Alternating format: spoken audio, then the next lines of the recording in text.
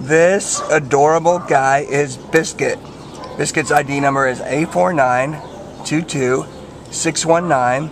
And Bisquit is a three year old Norwich Terrier mix who actually came into the shelter as a stray on February 24th. Um, and he is just an amazingly sweet, cute, uh, I said adorable, but you can't say it enough for this guy. Uh, he weighs 8.5 pounds, and um, he was actually just dropped off at the front gate here. And he's um, definitely uh, afraid of the shelter environment. Uh, he hasn't wanted to do anything but snuggle up with his handler.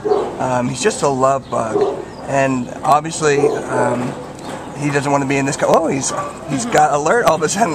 Look at those awesome ears. He's got kind of uh, little gizmo ears from from Gremlins, but they're they're really really adorable. He's got the softest uh, hair on the top of his head. He's kind of got uh, bouffant hairdo there, so he's really really sweet guy.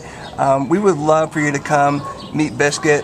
I'm sure that he would love to snuggle in with you, just uh, eat up this love. Um, he's definitely a sweet, sweet soul and, and deserves a great, great home. So come on down, meet Bisquit. He is at the Baldwin Park Shelter and he's ready to go home with you.